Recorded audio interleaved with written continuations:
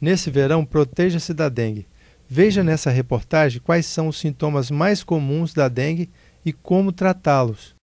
A situação epidemiológica da dengue, né, nesse ano de 2013, foi a pior né, que a gente já viveu nesses 18 anos. Também foi a maior do Brasil, com quase 2 milhões de casos registrados. Aqui no Espírito Santo, 78 mil casos registrados. E a tendência é que a gente tenha, continue com essa elevação no número de casos. Como deve ser feito o tratamento? quando o paciente vai ao pronto-socorro ou a unidade de saúde, ele passa por uma classificação de risco, que é feito pelo médico ou pelo enfermeiro. Se é estadiado em se ele é do grupo A, B, C ou D. Para cada estadiamento, cada letra dessa que o médico deve estadiar, né, ele vai é, tem uma hidratação própria para ele fazer. Todos os dias o paciente precisa ser avaliado, ele precisa voltar no sistema. É chato porque na epidemia muita gente, os pronto-socorros ficam todos lotados, que é onde faz o hemograma, que tem o resultado logo.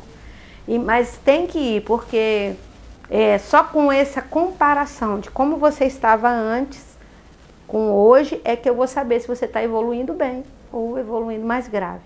Então não toma é, anti-inflamatórios, não tome remédio tipo aspirina, porque aspirina é proibido, isso não pode. Os anti-inflamatórios também não podem e não devem ser tomados. Você é, porque são remédios que agridem o estômago, então são remédios que também é, podem proporcionar um sangramento, assim como a aspirina, então é proibido esse tipo de remédio. Que remédio que pode? A dipirona, né? E o paracetamol, são os dois analgésicos que podem ser tomados e antitérmicos. Esse remédio para febre e para dor, ele não precisa ser tomado várias vezes ao dia. Ele vai ser tomado só de 6 e 6 horas. Se você ficar tomando muito remédio, pode confundir também os sintomas.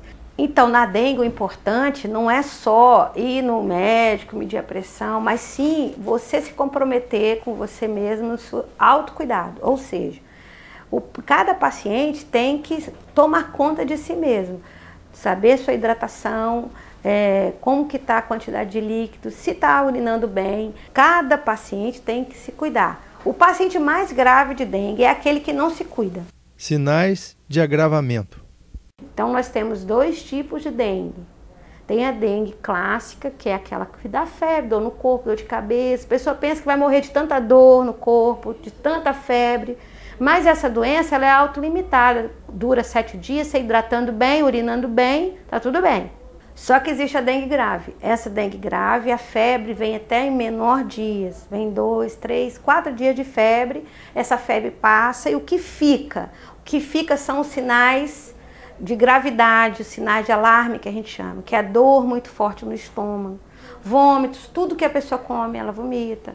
Ela não consegue ficar em pé, então ela fica desmaiando quando fica em pé.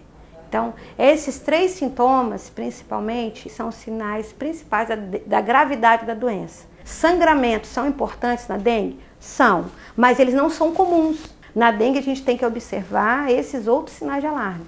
Uma outra coisa que é importante é a questão de, de urinar, né? Então, a, a forma com que você bebe líquido e a forma como você elimina esse líquido. Isso é muito importante na dengue. Às vezes você bebe muita água, está bebendo muito soro, mas não consegue eliminar essa, essa urina. Isso também é grave na, na dengue as pessoas que evoluem para doença, para ter a dengue graves, é menos de 10% da população em geral. Então, a população que adoece, 90% tem a dengue clássica. A importância do autocuidado. Todos nós brasileiros temos que saber como é a dengue grave e, no caso de evoluir com essa dengue grave ou não, com, uma suspeita de dengue, saber o que, que tem que ser feito.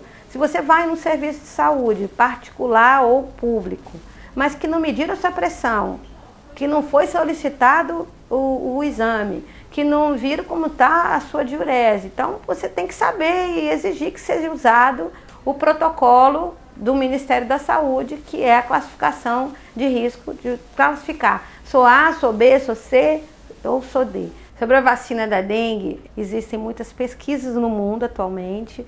Elas estão bem avançadas, mas estão muito longe da realidade. Hoje tem que se pensar combater o mosquito que transmite essa doença e autocuidado. Cada um conhecer como que é a forma grave, como que você pode se hidratar e reconhecer precocemente esses sinais de gravidade, procurando as unidades de saúde.